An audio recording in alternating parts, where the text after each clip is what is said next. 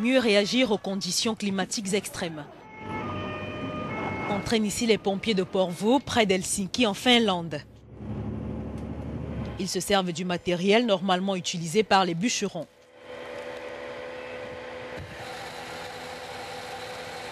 Cette technologie est utilisée depuis de nombreuses années dans l'industrie du bois et nous avons remarqué que nous pouvons aussi l'utiliser pour des opérations de secours et aussi pour des incendies de maison.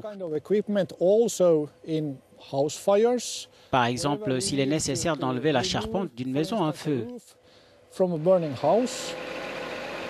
Cet exercice a été mené à bien dans le cadre du projet piloté par l'Union européenne. Son but développer une gestion systématique des risques liés à des conditions météorologiques extrêmes.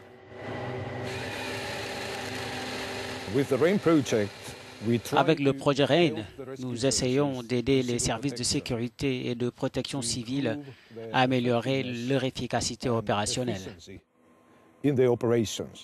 Ici au centre d'Helsinki se trouve la place du marché qui a été inondée en 2005. Avec ce même projet, la municipalité a élevé des remblais pour pouvoir circuler, mais aussi pour se protéger de la montée des eaux. En créant ce sentier, nous pouvons protéger une zone d'habitation d'inondation. Euh, plutôt que de protéger chaque maison individuellement, nous pouvons protéger de vastes zones en faisant ces simples digues.